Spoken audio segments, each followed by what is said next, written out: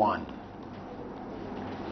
The way of the Prophet or the way is only one. Meaning that the prophetic way is only one way. That there is only one way to Allah, to God. For us to achieve or to receive the blessings which Islam has to offer.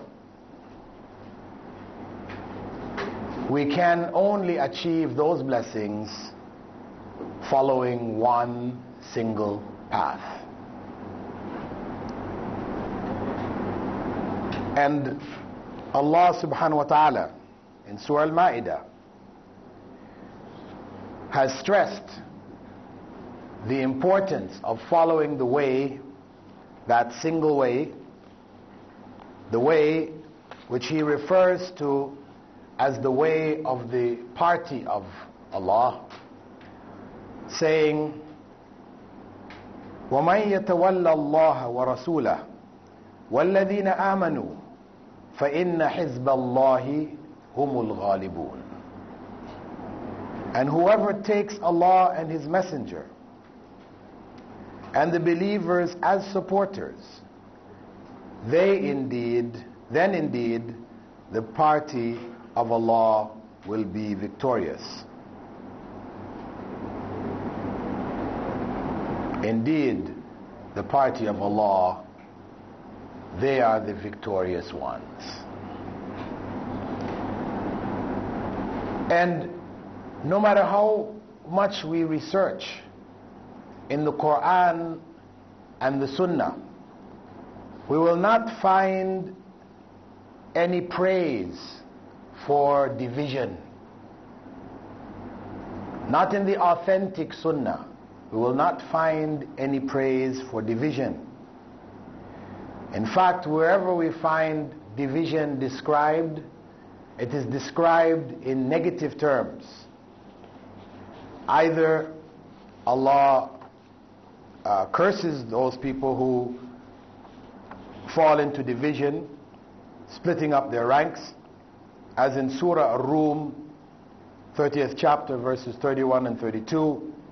ولا تكونوا من المشركين من الذين فرقوا دينهم وكانوا شيعا كل حزب بما لديهم فرحون and do not be of the pagans of those who split up their religion and became sects each sect rejoicing in that which it has.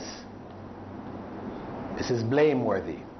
This is speaking ill of division and splitting of ranks.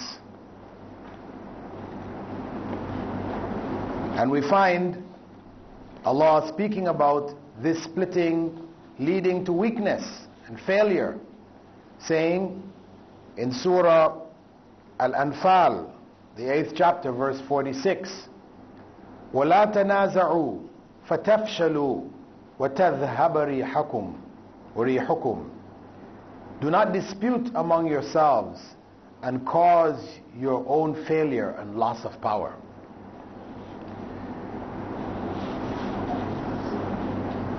The Prophet ﷺ had said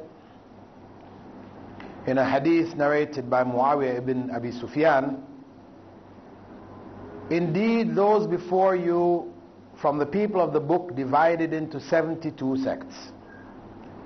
And the followers of this religion will split up into 73 sects. 72 of them will be in the fire and one in paradise.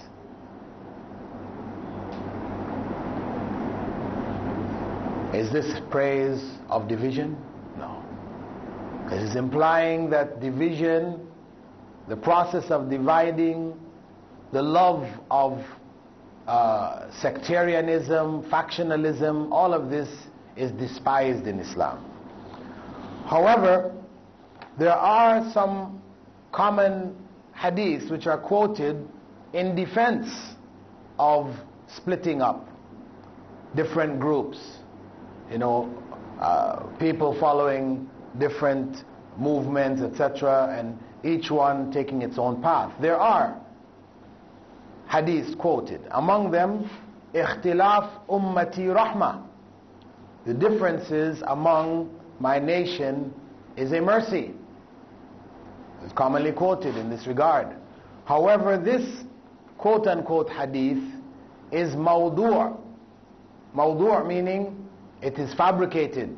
For those of you that attended this past week's course in hadith, uh, usul al-hadith or ulum al-hadith, you know what mawdu' is. Fabricated. Cannot be relied upon. It's a lie falsely attributed to Rasulullah sallallahu Another lie is أصحابي كالنجوم بأيهم اقتديتم اهتديتم my Sahaba or my companions are like stars. You will be guided by any one of them that you follow. This is again promoting the idea that if you follow one of them, as long as you're following one, no matter if one goes this way, one goes the other way, you're rightly guided. So it is something praiseworthy. But in fact, this division, the splitting up, is something condemned, not praiseworthy at all. What we find in the Quran is a statement which Allah has the Prophet ﷺ say, وأن هذا صراطي مستقيما فاتبعوه Indeed, this path of mine is a straight path, so follow it. And on one occasion, Abdullah ibn Mas'ud said that Allah's messenger drew a line for us in the ground, on the dirt.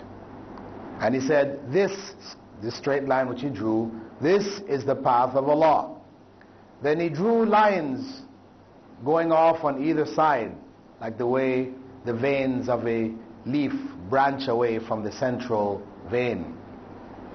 And he said, These are the paths On each, on the head of each path is a devil calling people to it. Then he recited that same verse, وأن هذا صراطي مستقيما فاتبعوه ولا تتبعوا السبل فتفرق بكم عن سبيله And this is my straight path, so follow it. And do not follow the other paths, as they would separate you from His path, from the path of Allah. Right. In this particular verse from the Quran, you notice that when the Prophet ﷺ is made to speak about his path, the term used is sirati mustaqiman, sirati, sirat, my path, a single path. But when he speaks about the paths of the others, he uses as-subul, the paths, the other paths. When, whenever Allah speaks of the way of the Prophet ﷺ, it's described as a single path. Whereas the path of this misguidance is described as a, as a path having many branches in it, many, many different paths. So this stresses the, the, the concept that there is only one way. And Ibn al-Qayyim had said, this is because the path leading to Allah is only one. And it is what He sent His messengers and sent His books with. And no one reaches Him except with this path. Even if people take other paths and try to open every door, these paths will be blocked off and these doors will be closed. And the exception of this is the one path. For indeed it is connected to Allah and leading to Him. However, the high obstacles on this path causes people to doubt it and abandon it. And those who have strayed from it have not done so except as a result of their liking for uh, multiplicity, their dislike for individuality, the, the haste in reaching their goal, and cowardice of bearing its long distance. And he said, Whoever views the path as being very long, then his pace will become weakened. So there is only one path. And that path is the path which we enter Islam with. It's the same path on which, on the basis of which we enter Islam. When we make our declaration of faith, saying, Ashhadu an la ilaha illallah wa ashhadu anna Muhammadan Rasulullah, I bear witness that there is no God worthy of worship but Allah, and that Muhammad was a messenger of Allah. That second part of that declaration of faith is our commitment to that path. And I bear witness that Muhammad sallallahu was a messenger of Allah. What we are committing ourselves to is that the way which Allah has prescribed for us is the way of the Prophet sallallahu alayhi wasallam. And no good deed which we could think of doing has any value unless it is in keeping or in conformity with the way of Rasulullah sallallahu alaihi wasallam. Of course, there is another condition for that deed to be acceptable to Allah, and that is that it is done sincerely for the sake of Allah. Because if we are doing it only ritualistically, as a cultural hand-me-down, you know, without any life, any uh, spirit to it, a spirit of belief, of submission to Allah, then of course it has no value. But one cannot just cling on to the spirit and say, I'm not going to follow the external you know, what is important is the spirit because it is what determines whether a deed is accepted or not, ultimately.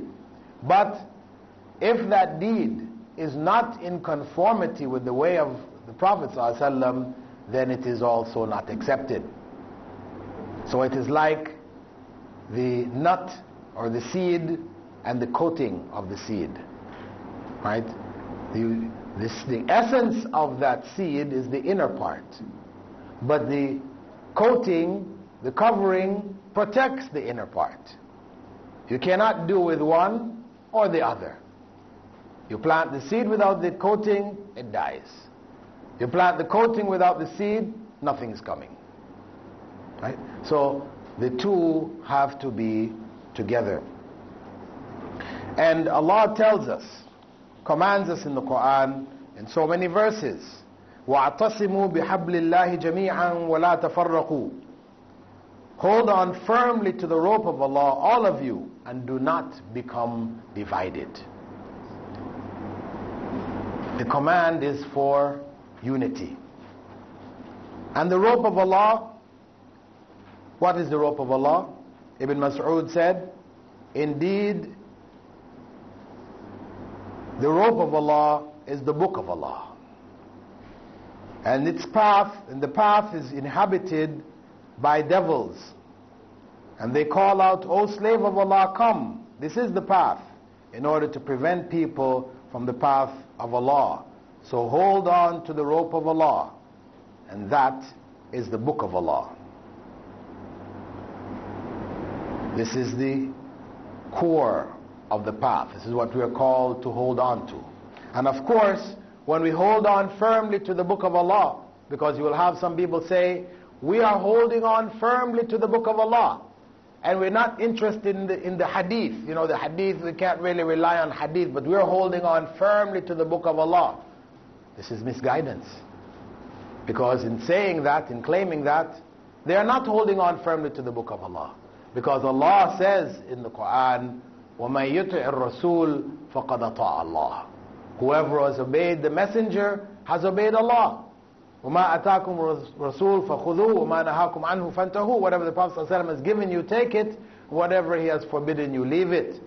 How can we follow and know what he gave us? How can we obey him if we are not following the sunnah and the had- which is brought to us in the hadith? So holding on firmly to the book of Allah, to the rope of Allah, which is the book of Allah, means holding on firmly to the Quran and the sunnah. And we have well-known hadiths of the Prophet ﷺ in which he said similar things, where he said, for example, uh, in a narration uh, narrated to us by Abdullah ibn Abbas, the straight path is that which Allah's Messenger left us on. And the Prophet ﷺ said, I have left among you two things. If you hold on firmly to them, you'll never go astray. The book of Allah and my sunnah. تركت فيكم أمرين إن تمسكتم بهما لن تضلوا أبدا كتاب الله وسنتي The book of Allah and my sunnah. And of course, the understanding of the book of Allah itself depends on the sunnah. Allah said in the Quran, وَأَنزَلْنَا إِلَيْكَ الذِّكْرَ لِتُبَيِّنَ لِلنَّاسِ مَا نُزِلَ إِلَيْهِمْ And I've revealed to you the reminder, the Quran, so that you may explain to the people, you Muhammad وسلم, may explain to the people that which was revealed for them or to them. So the path is one of holding on firmly to the book of Allah and to the sunnah which the book of Allah commands us to follow. Uh, furthermore, we have uh, Prophet Muhammad saying, Whoever amongst you lives on after me will see many differences. So you are to stick to my sunnah and the sunnah of the rightly guided caliphs after me. Hold on to it with your molar teeth and beware of innovated matters, for every innovation is bid'ah. Stick to my sunnah and the sunnah of the rightly guided caliphs after me. So Prophet Muhammad has stressed that in understanding his sunnah, we must also hold on to the sunnah of the rightly guided caliphs who came after him. The rightly guided caliphs being primarily the leading companions, his leading companions. That generation, that uh, the leaders of that generation who lived the revelation. The Quran was revealed amongst them. The Prophet Muhammad lived amongst them. He was the example. And one of the scholars of the past, Ibn Battah, had said, the first generations remained united on this, all together, united upon closeness of the hearts and agreement of methodology. This is because the book of Allah was their protection, and the sunnah of the Prophet ﷺ was their imam, their leader. They did not use their own opinions, nor did they turn to their desires in understanding and applying the religion. So the hearts of the people who were upon this remained safeguarded with Allah's protection, and the souls remained shut off from the whims by Allah's help. And may Allah have mercy on him. He indeed spoke the truth, for the religion of Allah is only one without differences. This is the straight path. This is the one path which leads to Allah. And this is in contradiction to all those who would call us to a multiplicity of paths. Whether it is in a general sense, and you will hear people saying, all religions are one. Yeah? There's one God, and all the religions are one. They are like spokes on a wheel, and Allah is the hub. So it doesn't matter which one you follow as long as you're sincere. As long as you sincerely follow. So whether you're a Buddhist, whether you're a Hindu, whether you're Christian, Catholic, Protestant, you know, whatever you are, Muslim, it's all the same. As long as you're sincere, just be sincere in your belief in God, and that will take you to God. Of course, this is rejected. Allah did not reveal many religions. There is one human race with shared characteristics spiritual, physical, psychological, emotional, shared characteristics. Allah sent prophets with one message. He didn't send them with a variety of messages. As Allah said, وَلَقَدْ بَعَثْنَا فِي كُلِّ أُمَّةٍ رَسُولًا أَنْ يَعْبُدُوا اللَّهِ وَاجْتَنِبُوا الطَّاغُوتِ We sent to every nation a messenger calling them to worship Allah alone and to avoid the worship of false gods. One God, one human race, one message brought by the messengers. There were many messengers because, of course, human race is spread over the earth. So a number of messengers were sent, but they all carried one message. Meaning, they only brought one religion. That's why Allah said, Inna dina inda Allah Islam. That the religion in the sight of Allah, which is acceptable to Allah, is Islam, nothing else. So all of these others are misguidance. No matter how sincere people may be in following them, they're sincere in misguidance. There is only one way to Allah, and that is Islam. Islam, as was brought by Prophet Adam, Prophet Abraham, Moses, David, Jesus, Muhammad sallallahu alaihi wasallam, and all of the other prophets who we don't even know their names. They brought one religion. And whatever exists in the world today of other religions, these are deviations, these are corruptions, man made uh, ways of life which are not in keeping with the message that was sent by Allah to humankind. So, as there is only one religion, as there is only one religion, and all of these other religions are false, there is not more than one way to Allah, it's just one way. Similarly, that one religion is itself one. Not with many different paths. We have Shia Islam, and the Shia Islam could be Buhri Islam, or it could be Aga Khani Islam, or it could be, you know, uh, Imami Islam, or whatever, all the different versions. No. Prophet Muhammad left behind one Islam.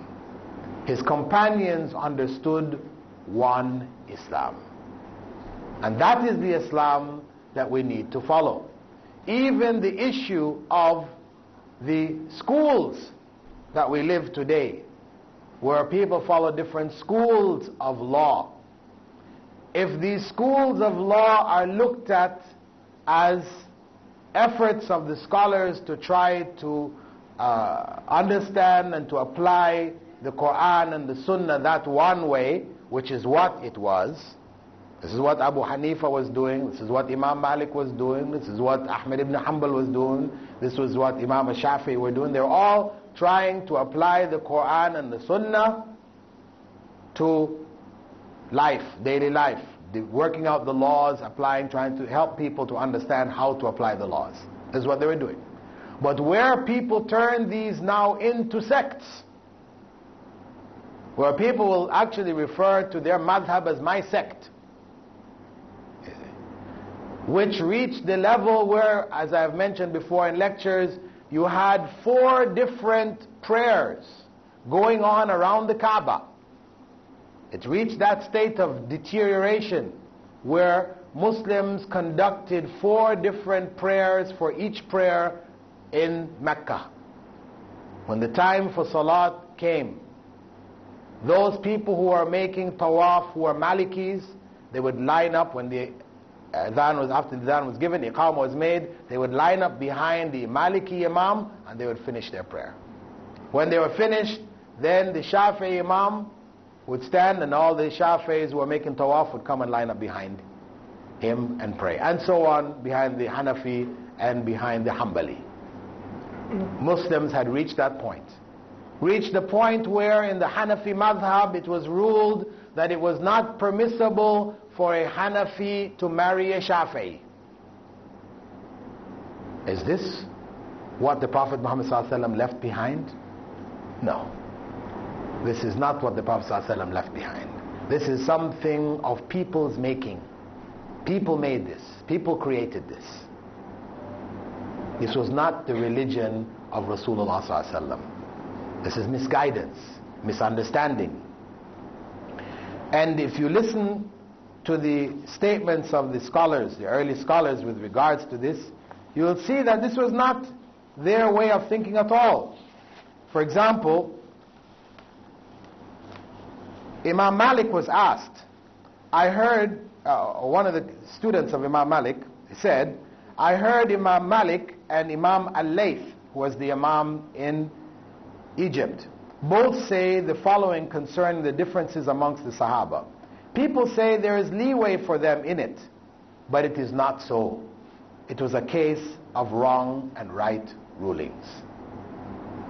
People say there's leeway, meaning it doesn't matter which of the Sahaba you follow, no problem. No. Those Imams said no. Some were right and some were wrong. And if you know what is the right and what is the wrong, then you must follow the right. That is your responsibility. Ashhab, another of Imam Malik's students, said, Imam Malik was once asked whether one was safe to follow a ruling related to him by reliable narrators who heard it from the companions of the Prophet ﷺ. He replied, no. By Allah, not unless it is correct. The truth is one. Can two opposing opinions be simultaneously correct? The opinion which is correct can only be one. So when we look at issues of schools of law, etc., we have to look at them in the light of right and wrong.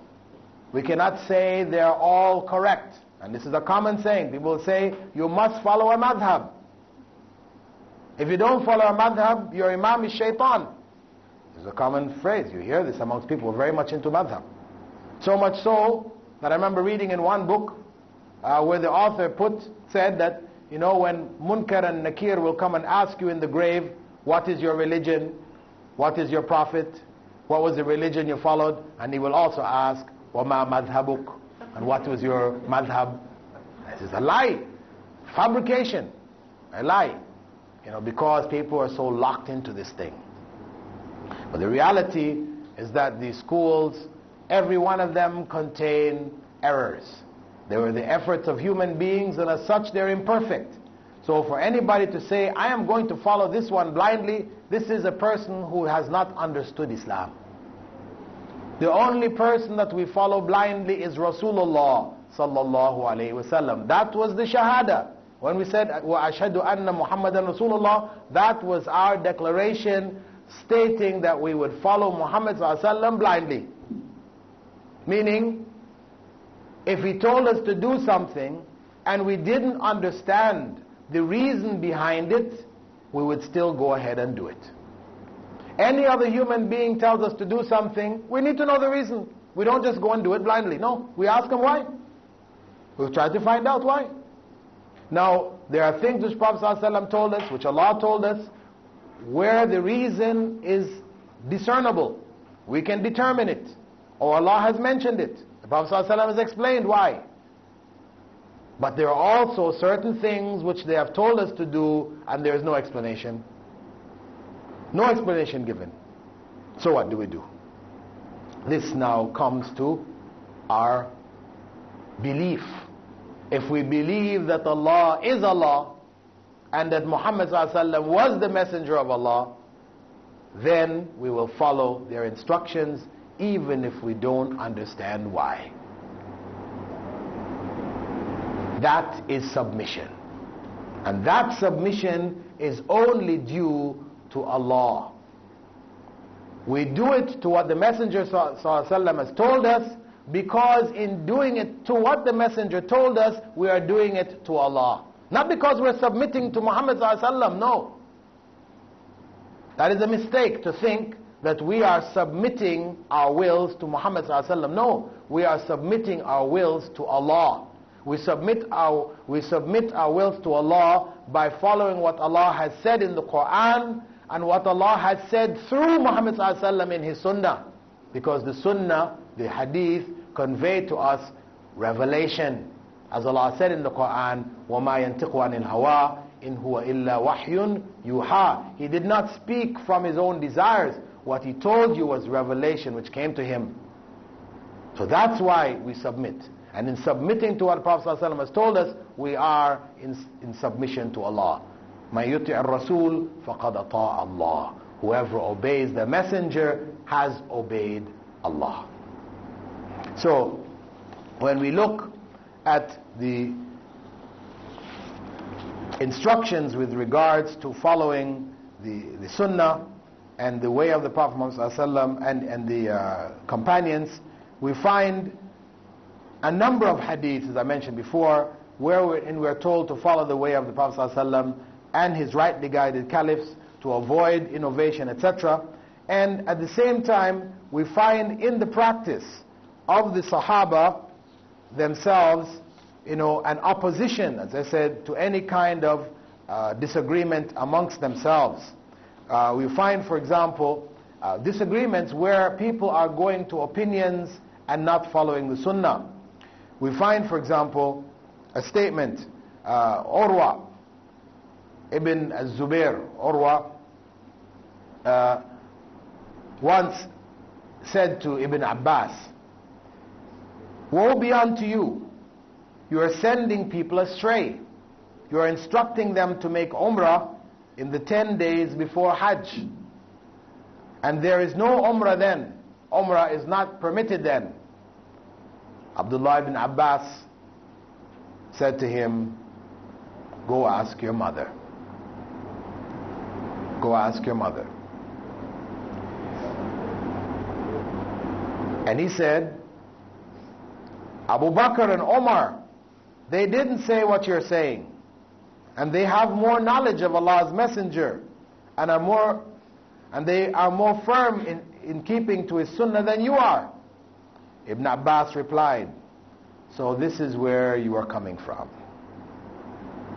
I tell you what Allah's messenger has said, and you come to me with what Abu Bakr and Omar said. Woe be to you. Are, there, are they more preferable to you or what is in Allah's book and the sunnah of His messenger, which was left among His companions and His ummah? I see them falling into destruction. I say Allah's messenger said, and he says Abu Bakr and Omar forbade. I see, even on the level of the companions themselves. Some of them, based on knowledge which they had, they made certain decisions. And in the end, what do we do with those decisions? You know, for example, you know, uh, Omar, radiallahu anhu, he ruled that the stating of three divorces, uh, one after the other, will be held as three divorces. But Prophet Muhammad said when a man came to him and said, I divorced my wife the number of times there are stars in the sky. He said, that's one divorce. He said, that's one divorce. Okay? This was the sunnah. The sunnah of Prophet Muhammad And when he said, follow my sunnah and the sunnah of the, the Khulafa Rashideen, he didn't say, follow my sunnah and a rightly guided caliph, because we had four, but he said the rightly guided caliphs, meaning what they all agreed on. Not what one or two held, but what they all agreed on. So, we are obliged to follow what came uh, in the Sunnah, which was agreed upon by the followers of the Prophet Muhammad and the following and the understanding of what Islam is, what the Quran and the Sunnah was, is the understanding which they held. As Allah said, وَمَن يُشَاقِقِ الرَّسُولِ مِن بَعْدِ مَا تَبَيَّنَ لَهُ الْهُدَى نُوَلِّهِ مَا تَوَلَّى وَنُصْلِهِ جَهَنَّمْ وَسَاءَتْ مَصِيرًا And whoever opposes the messenger after guidance has been made clear to them and follows a way other than that of the believers, I will leave him to his choice and place him in hell an evil end. And follows a way other than that of the believers. Who was that verse referring to when it was revealed?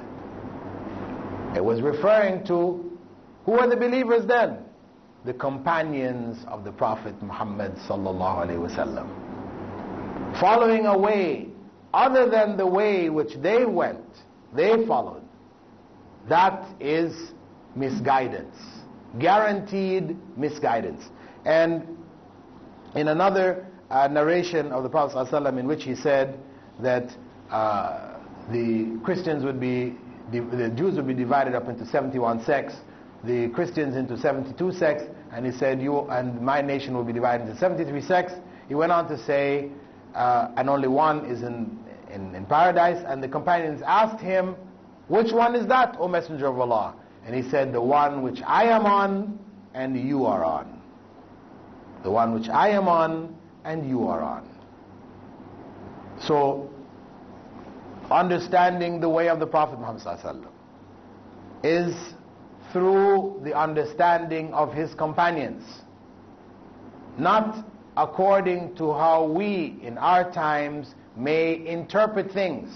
You know, for example, today one uh, sister came and asked me about wearing niqab that she had decided to wear niqab, and her parents were both religious, religious people. They were opposed to her tooth and nail. The father was saying, the mother was from the point of view of marriage prospects. She said, well, you know, if you're wearing niqab, then how are we going to find somebody to marry you?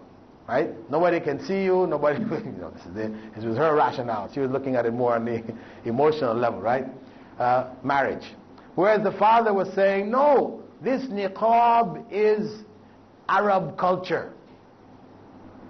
It is from the Arab, you know, cultural practices. It's not Islam. In fact, you are being extreme in wanting to do this. This is the modernist understanding. And you'll hear it echoed. The point is that the wearing of the niqab was done in the time of Prophet Muhammad It's not to say it was compulsory for all the women. It was compulsory for his wives because their case was special. They could not marry anyone after Prophet Muhammad when he died. And to help to remove any possibility of people developing any kind of feelings and desires for them and vice versa, etc., they were veiled from the people in general. But the many of the women who were around Prophet Muhammad's wives, they also covered themselves wearing the niqab, etc. And this is why you can find in the hadith concerning Hajj, where Prophet had said, you know, for women, when they're wear, going for Hajj, that they should not wear niqab or gloves. The fact that he's telling them not to wear niqab meant that they were wearing niqab, that it existed amongst them. So it was a part of what was approved by the Prophet Muhammad and it is something commendable. It is something recommended. It is something which Islam not only approves of, but also honors. Right?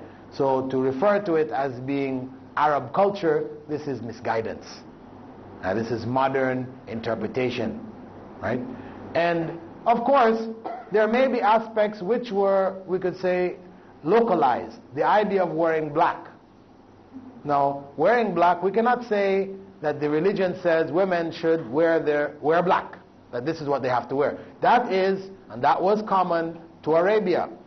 That was the preferable color which they used, and as people from Arabia, Muslims spread to different parts of Muslim lands, they carried that with them. But in reality, Islam does not prescribe that a woman wear black. it could be brown, it could be green, but in whatever, the colors are preferable though. There are darker colors in the sense that they should not be uh, eye-catching, like bright yellow, bright red, you know, flashy flowers and colors and, you know, because the whole idea of trying to discourage, you know, people staring and being attracted and things like this is lost by, you know, wearing garments which become equivalent to the garment that you're supposed to be covering with your outer garment. Right? So these kind of interpretations, you know, these we have to be aware of and know that the only way to interpret and to understand the Sunnah of the Prophet Muhammad is to understand it as the companions had. And we have an example from the life of Imam Ahmed, who was jailed because of his uh, opposition to those who were claiming that the Quran was created, right? And that Allah was everywhere. In any case, he was brought before the Caliph and he deba debated with one of those who were promoting these deviant ideas at the time. And he said to the person, when the person was the representative of this innovative, innovative views, he said, inform me about this matter which you're calling people to. Is it something which Allah's messenger called people to? His claim that the Quran was created, Allah is everywhere. Could you find any hadith is there something in hadith that the Prophet ﷺ said this? He told people, come and believe this? The innovator said, no. Imam Ahmed then asked him, is it something that Abu Bakr Siddiq called people to after him? Or Umar ibn al-Khattab? Or Uthman? Or Ali? He said, no. So he said, so it is something that neither Allah's Messenger, nor Abu Bakr, nor Umar, nor Uthman, nor Ali, may Allah be pleased with them all, called to. Yet you are calling people to it.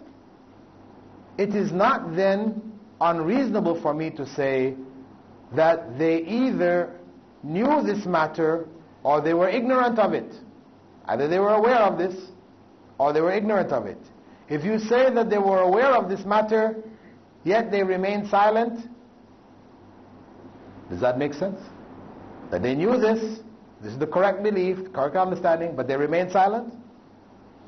That is obvious, obviously wrong. And if you say that they were ignorant of it, but I know it, then, O wicked son of a wicked one, the Prophet ﷺ and his rightly guided caliphs were unaware of something, yet you and your friends know about it.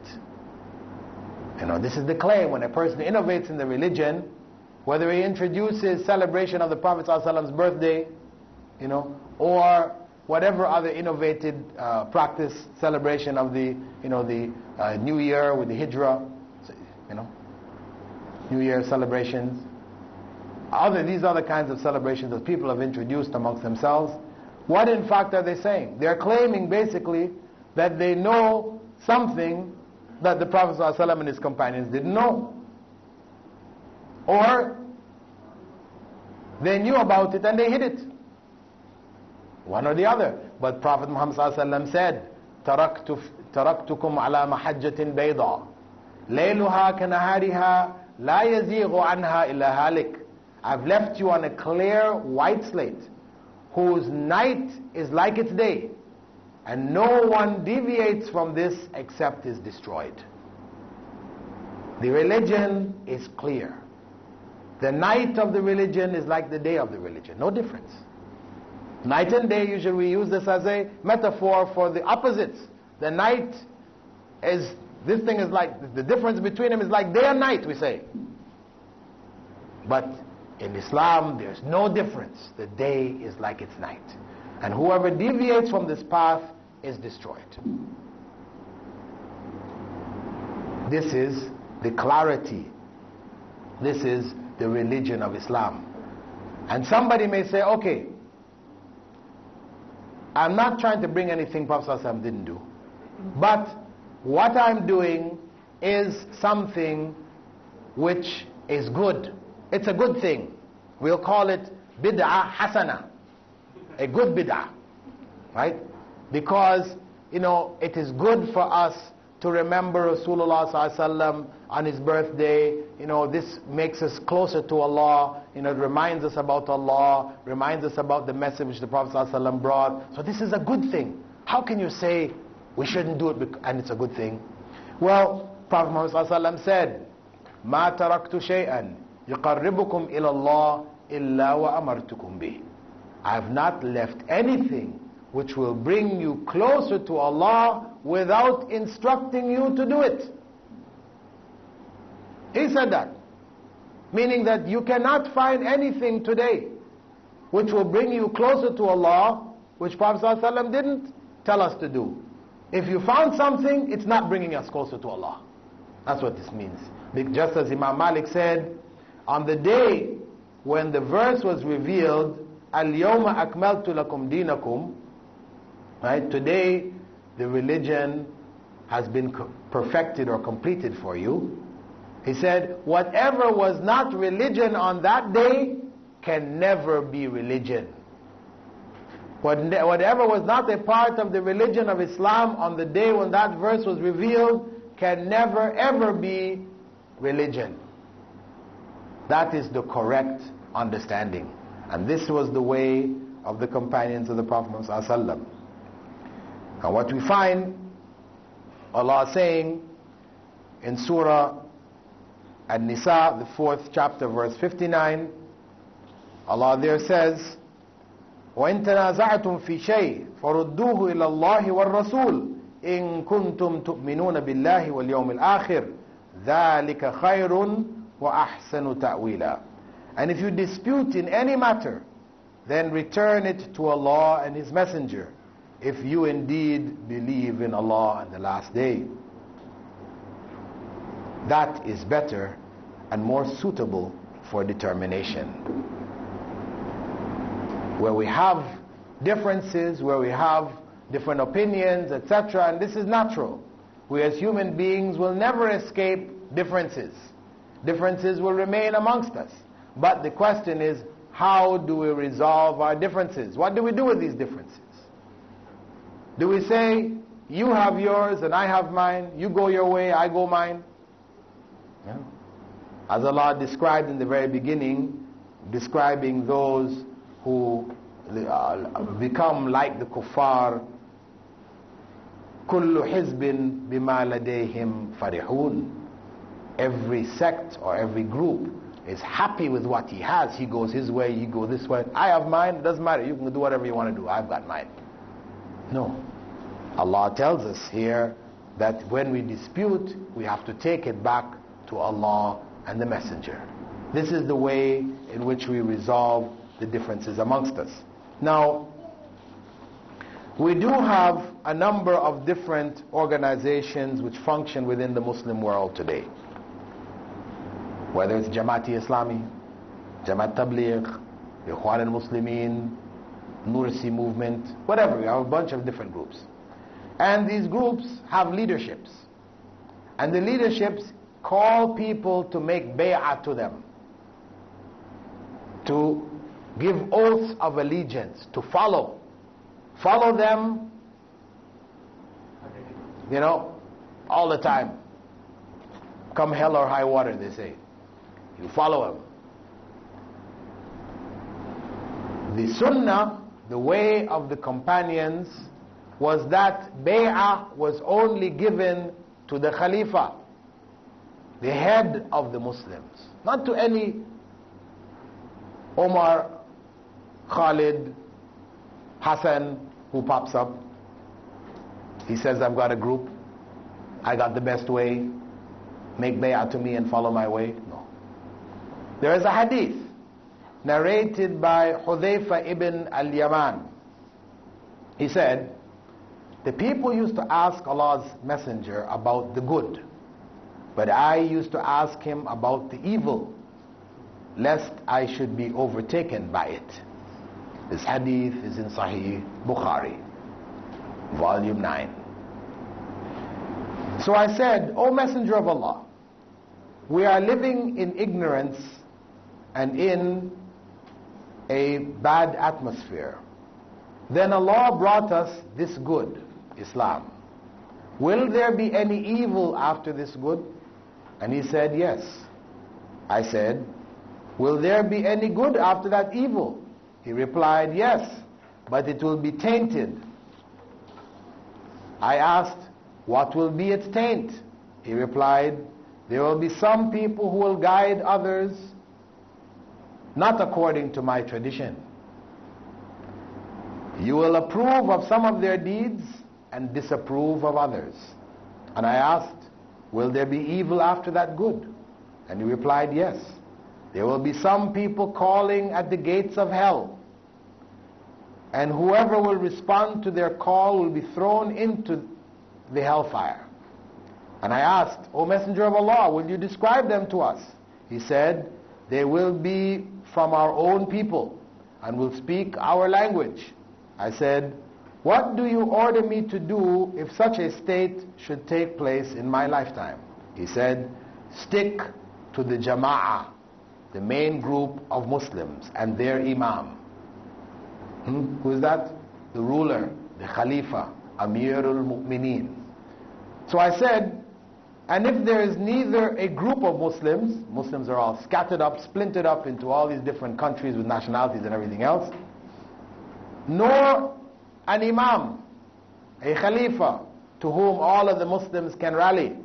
He said then, فَاعْتَزِلْ تِلْكَ الْفِرَقَ كُلَّهَا Then turn away from all of these sects, even if you have to bite the roots of a tree till death overtakes you while you're in that state.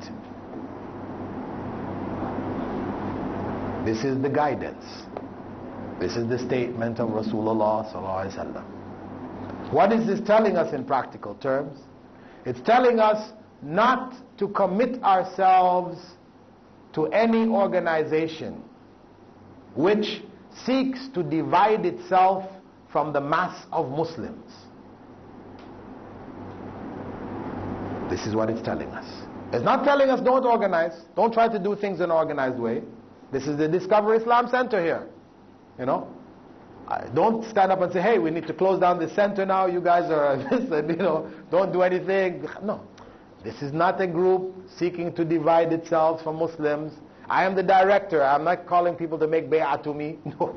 Okay? This is just a, a means of organizing dawah activities we come, we go, I come, other people can come. You know, this is not, it is just an organization to try to do things in an organized way. That's all. But where that organization transforms itself into a movement, where you now have a leader who calls people to give the oath of allegiance to him, where now you're going to follow and then you start to look at people who are not a part of your group with the what they call the us and them mentality. You know the us and them mentality? If you're not with us, then you're against us. Right? That looking at people with doubt. Because what we're on, this is the right thing. Anybody who's not with us, making the bay'ah along with us, they are off. They're misguided. Right? And you'll hear that in ignorance. You have some people who say, when they do their Islamic work, they call it fi sabilillah. The path of Allah. We're on the path of Allah. So you might be going to make jihad. And they will ask you, have you gone out fi sabilillah? So I'm going to make jihad. No, I said, did you go out for 40 days? I mean, hey, hey, you know, they have turned 40 days now into fi sabilillah. If you're not doing these 40, you're not fi sabilillah. This is misguidance. This is misguidance. The way of the Prophet Muhammad and his companions, that is the way. What they understood fi sabilillah to be, that is fi sabilillah. The way in which they conducted da'wah, conveying the word of Allah to the people, the non-Muslims, the people in their communities, people outside the community, that is the way to do it. And any other way is doomed to failure.